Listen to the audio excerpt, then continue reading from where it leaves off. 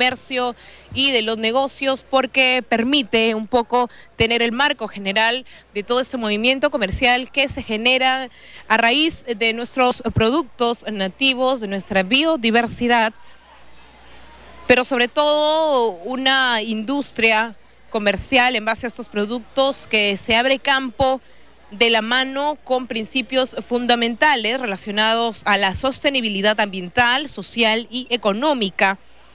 Y eso también fue, forma parte de toda la capacitación que realiza el Ministerio de Comercio Exterior y Turismo, el Ministerio de la Producción y el Ministerio de Agricultura, que han sido socios eh, estratégicos para el desarrollo de esta expo alimentaria, teniendo como gran anfitrión a la Asociación de Exportadores ADEX y por supuesto sin dejar de lado el apoyo de la empresa privada que se suma también a esta expo alimentaria en su cuarta edición.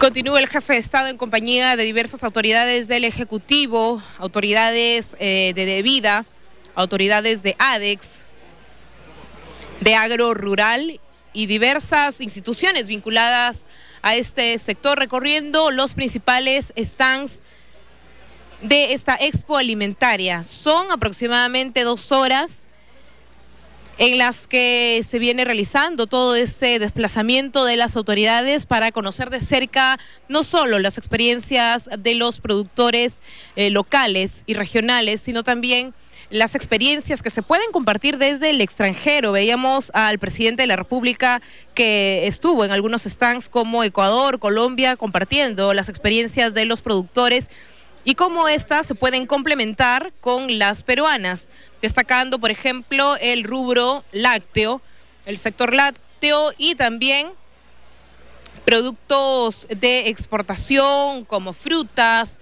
granos andinos, que concitaron gran atención entre los visitantes. El Salón del Pisco también fue visitado por el presidente de la República, las autoridades que se han dado cita y las novedades de esta feria como el Rincón del Café y Cacao Peruano y el Rincón de los Granos Andinos, donde se aprecia de cerca la expectativa de toda la población.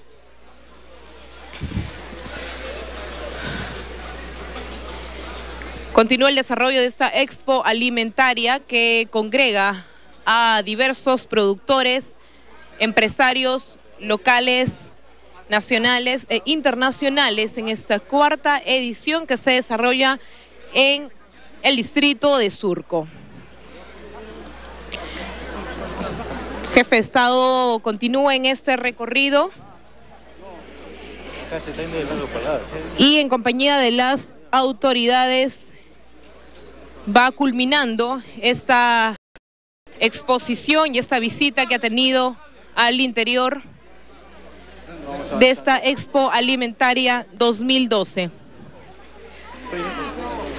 Estamos ya muy, muy cercanos al presidente de la República, nos indican que va a ofrecer algunas palabras, va a brindar algunas declaraciones en esta parte final del eh, recorrido. Recibe el saludo de algunas autoridades de PROM Perú. Bien, vamos entonces a dirigirnos a los exteriores, nos indican porque hay algunos miembros de prensa que están también aguardando en los exteriores. Están aguardando en los exteriores. Nos estamos aproximando. Nos estamos aproximando y en compañía de diversos miembros de prensa para poder tener algunas declaraciones del jefe de Estado. Continuamos en esta transmisión en vivo y en directo y nos aproximamos ya porque el presidente nos indica va a brindar algunas declaraciones como parte final de esta expo alimentaria que se desarrolla en el distrito de...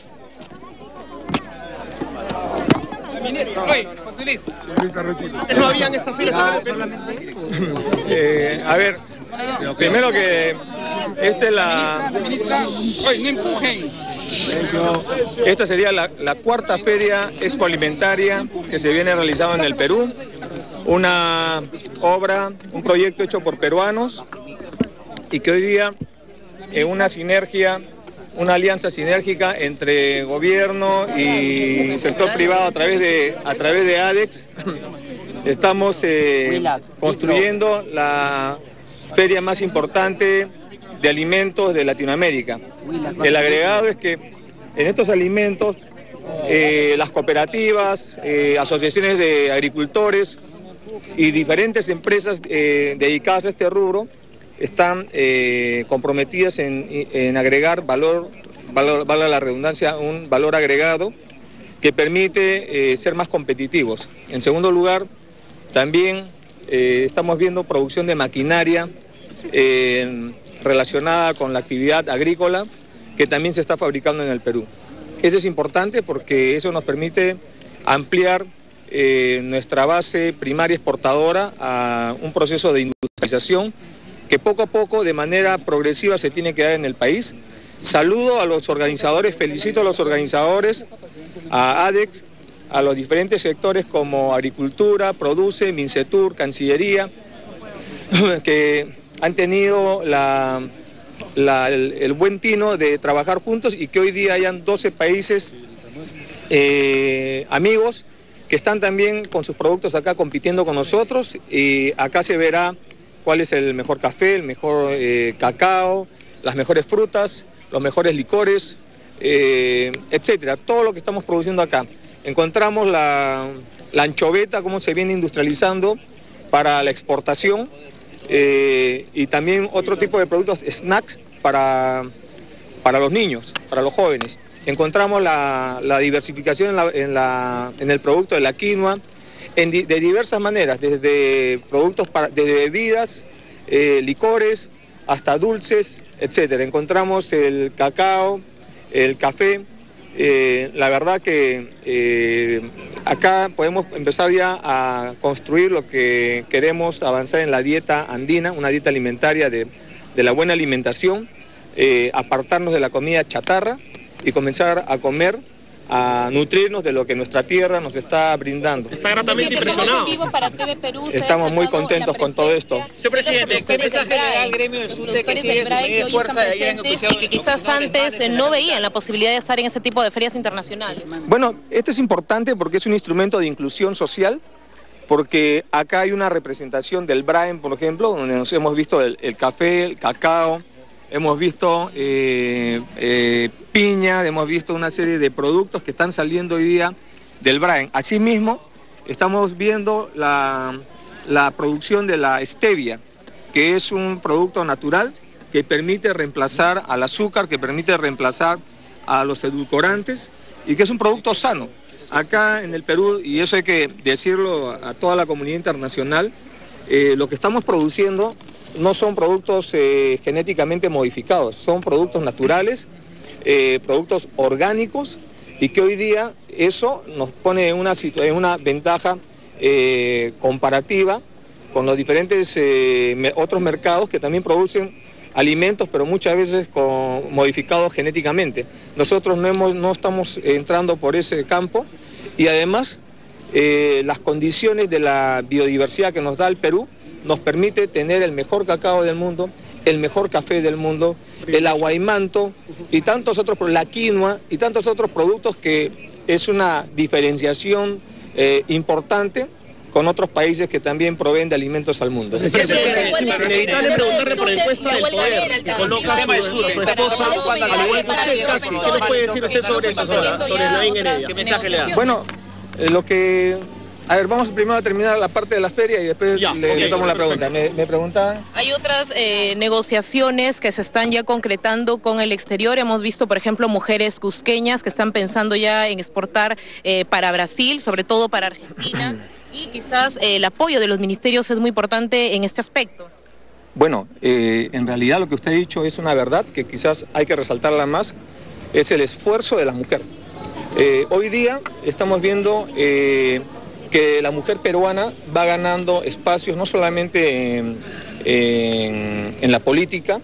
Hoy día tenemos seis ministras de Estado, eh, la directora de vida es una mujer y estamos viendo, si ustedes van a la feria van a ver que más del 50% de, de los productores son mujeres. Entonces estamos viendo cómo la mujer va ganando espacio y bien por eso. Yo saludo esta, este empoderamiento eh, de, de, la mujer en diferentes campos de la actividad económica productiva, porque eso eh, primero nos demuestra de que estamos eh, creando las oportunidades que antes no habían para, para las mujeres. Muchas veces, y no lo digo, no lo digo con, como una llamada de atención, pero sí como una, una reflexión, en distintos lugares del país, en áreas rurales, cuando un agricultor, un campesino, tenía que de decidir en sus hijos quién iba a ir a la escuela, escogía al hombre y a la mujer no. Hoy día estamos luchando contra ese, esa forma de pensar, queremos un cambio cultural y estamos viendo ahora que es la mujer el motor de la economía. Estamos viendo acá cómo son productoras de cacao, café y otros productos más. Y eso la verdad eh, me llena de satisfacción. Creo que eh, la mujer está asumiendo un rol cada día más importante y la sociedad peruana tiene que saludarlo. Y hablando de mujeres, presidente, ¿qué nos puede decir sobre la encuesta del poder que coloca a su esposa casi tan poderosa como usted? Bueno, primero que es una encuesta. En segundo lugar que eh, con Nadine siempre hemos trabajado juntos, hemos formado una, una, una, un matrimonio eh, que para nosotros es algo eh, muy importante, donde tenemos nuestros hijos, nuestras hijas. Eh, son pequeños todavía nuestros hijos, ellos han vivido en parte también la campaña electoral. con ella hemos construido el partido, hemos, nos hemos iniciado en la vida política y hemos llegado, Dios, Dios mediante, con el apoyo del pueblo peruano, al gobierno. No el que gobierna, que el, gobier por, el, que gobierna, por el pueblo. El que gobierna es el que fue elegido por el pueblo, que es el presidente de la República. Exacto. Y el presidente de la República gobierna con sus ministros de Estado eh, en coordinación con el primer ministro, no solo porque lo manda la Constitución, sino porque el sentido común nos lo hace ver que es así. Acabo de llegar, he llegado inclusive un poco tarde a esta expo alimentaria porque hemos estado con los ministros de Estado en Consejo de Ministros. Y esa es la forma de gobernar. Es posible, es posible que haya opinólogos y haya eh, opiniones diversas eh, que piensen lo contrario, piensen que hay un cogobierno, cosa que lo niego de, de, de, de, canto, porque ya pues hace buen tiempo, por lo menos 20 años, en que eh, no vemos nosotros que en la Casa de Gobierno hay una familia constituida. Y eso es un cambio para bien, no es un cambio para mal. En segundo lugar, en tercer, en tercer lugar, en tercer lugar, creo que dentro del, de, de, los nuevos roles que viene eh, asumiendo la, la mujer, eh, creo que sería un pensamiento machista si queremos relegarla o hacerla retroceder a simplemente a áreas subalternas o domésticas.